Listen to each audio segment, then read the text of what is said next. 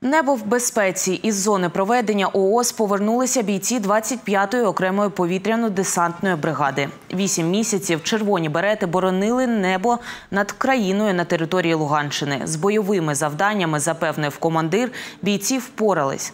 Та, на жаль, додому повернулись не всі. Про кількість втрат військовослужбовці не кажуть. Зазначили тільки, що після нетривалого відпочинку армійці готові повернутися на передову.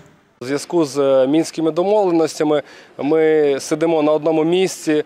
І коли це був 14-15 рік, у нас була можливість відбивати свої території, наступати на противника. Ми розуміли, що ми знаходимося на своїй землі і ми воюємо за свої території. А зараз е, ну трошки напружено морально для всіх солдатів, офіцерів, тому що ми знаходимося на одному місці.